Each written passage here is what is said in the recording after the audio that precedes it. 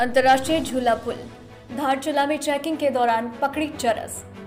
धारचूला के अंतर्राष्ट्रीय झूला पुल पर नेपाल से भारत आ रही युवती की चेकिंग के दौरान लाई जा रही अवैध चरस को भारत की सशस्त्र सीमा बल एसएसबी के द्वारा नेपाल की दुमलिंग निवासी 25 वर्षीय युवती से 1 किलो 440 ग्राम चरस पकड़ी गई है। युवती के द्वारा चरस को शरीर पर लपेट कर लाया गया था। जाँच के दौरान महिला सिपाही ने उक्त चरस को पकड़ा। उक्त चरस बरामदगी के बाद कागज़ी कार्यवाही कर युवती और चरस को धारचूला पुलिस के सुपुर्द कर दिया गया है। धारचूला पुलिस के द्वारा उक्त युवती के खिलाफ कानूनी कार्यवाही की जा रही है, जिसके बाद उक्त युवती को कल सुबह न्यायालय में पेश किया जाएगा। नवभारत समाचार, धारचूला से आशा रावत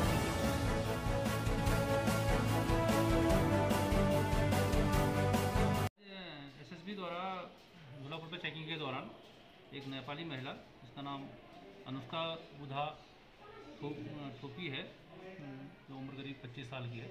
इसको करीब एक किलो 440 ग्राम के साथ पकड़ा है और जिसे जिसकी प्रारंभिक कार्रवाई फर्दर बनाने के बाद अभियोग पंजीकृत करके थाना पुलिस के सुपुर्द किया है। अभियोग पंजीकृत कर